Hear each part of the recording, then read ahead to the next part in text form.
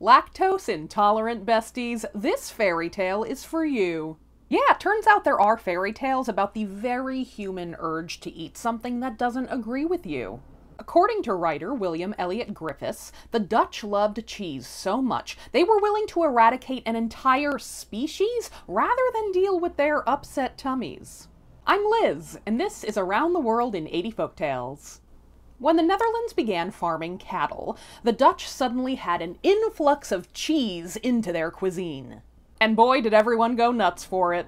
It became the focal point of many meals, and cheese parties were the thing to do. The problem was, the Dutch were eating so much cheese, they began to be plagued by daily nightmares from their indigestion.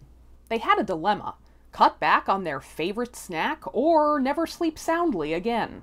Well, neither of those options were appealing, so instead the Dutch blamed their problem on something else entirely goblins. Now, it wasn't a completely far fetched jump, because goblins did dabble in the art of nightmare making. The females would sneak into your room at night if you were careless enough to leave a hole or a crack unattended. Then she'd sit on your chest, and suddenly there you were, naked in your high school classroom, trying to remember the answers to a pop quiz and wondering why your teeth keep falling out.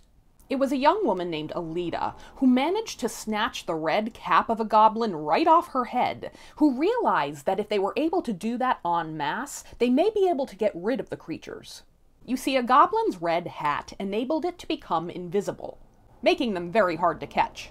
The villagers simply had to round up as many goblins as they could overnight and snatch up those red hats, keep them corralled in one place until the sun rose, whereupon they'd be turned to stone. So that's what they did. Alida used the one hat she'd snatched as a bargaining tool to get hundreds of goblins to one site. And the little creatures were caught there until the sun rose. Nothing remained of the goblins but stones, which remain in the Dutch countryside to this day. As for if their cheese nightmares went away, eh, I wouldn't worry about it. Just help yourself to some more of that Gouda. Let me know in the comments what food you will not give up no matter the bodily consequences. Mine is ice cream. And like and follow for more worldly folk tales.